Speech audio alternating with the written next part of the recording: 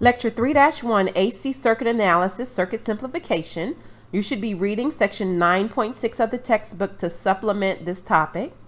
The learning objectives are to combine impedances in series to find a single equivalent impedance, apply the voltage divider to find voltage in an AC circuit, combine impedances in parallel to find a single equivalent impedance, apply the current divider to find currents in an AC circuit and use delta Y transformations to simplify a circuit to find voltage and current. So the theory for this lecture is based upon KVL and KCL. One of them is, is that impedances are in series combine exactly like resistors or inductors in series. And by using KVL, it's possible to show that the impedances combine such that if they are in series, ZAB would be Z1 plus Z2 and so on. Similarly, you can use the voltage divider just like you can for resistors and inductors, where if I want to find the voltage across impedance N, then Vn would be equal to Zn over the equivalent impedance times the source voltage.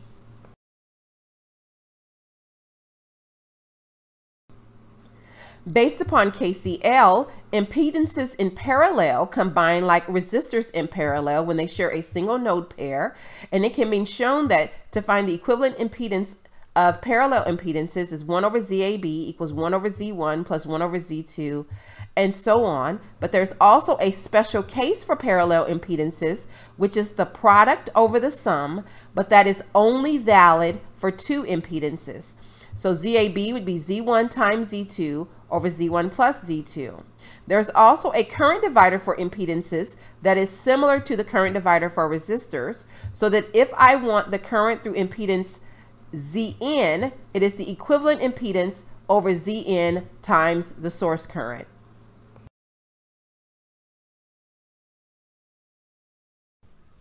Example 1. Use voltage division to find the voltage in the following circuit. Vs is our source, Vr is the voltage across the resistor, VL is the voltage across the inductor, and Vc is the voltage across the capacitor. Using KVL, we get that Vs is equal to Vr plus VL plus Vc.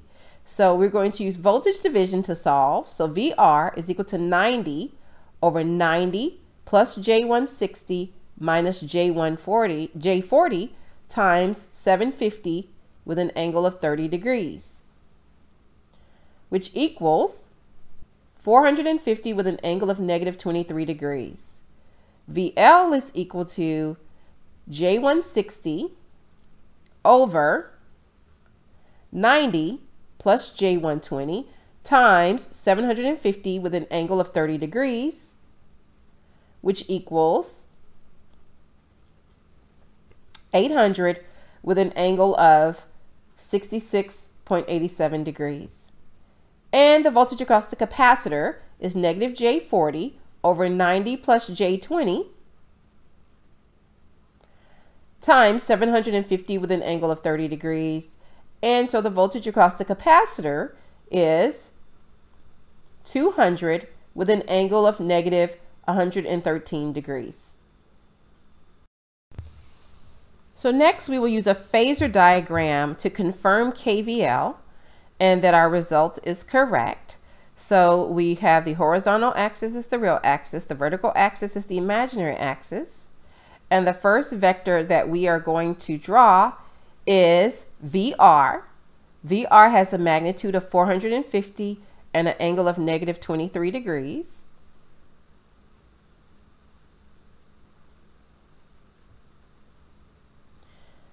Next, we are going to draw VL.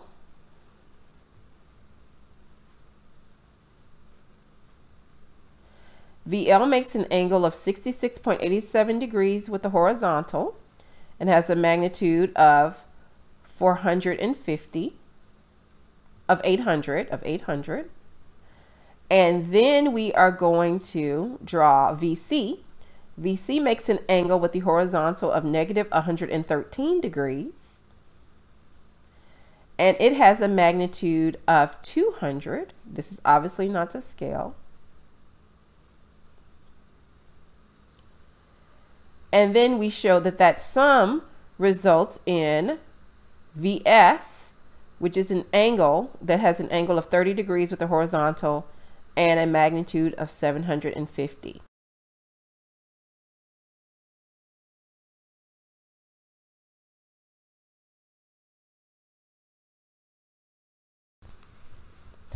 Example 2. Use current division to find the currents in the following circuit. We have a source current that's 8 with an angle of 0 degrees, in parallel with 10 ohms, in parallel with 6 plus J8 ohms, in parallel with negative J5 ohms. We'll label our source IS and write the KCL equation that IS is equal to IR, the current through the resistor, plus IL, the current through the inductor, plus IC, the current through the capacitor.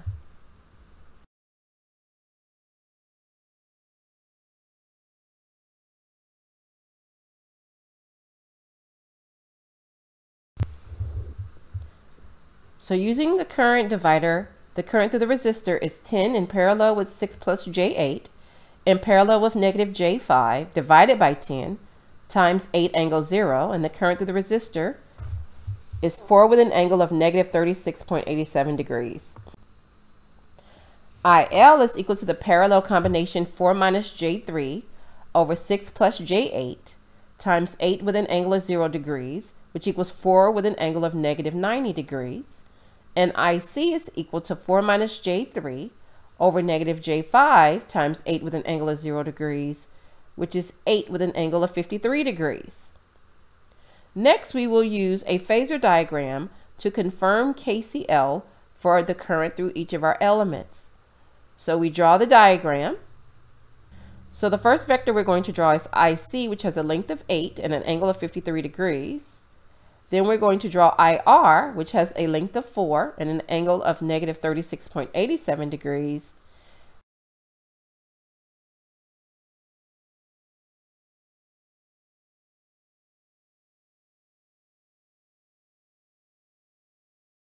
And then we're going to draw IL, which has an angle of negative 90 degrees and a length of 4. And then we're going to show that this sums to our source current which is IS, which has a magnitude of 8 and an angle with the horizontal of 0. And this concludes today's lecture on the AC circuit analysis, simplification techniques such as voltage and current divider.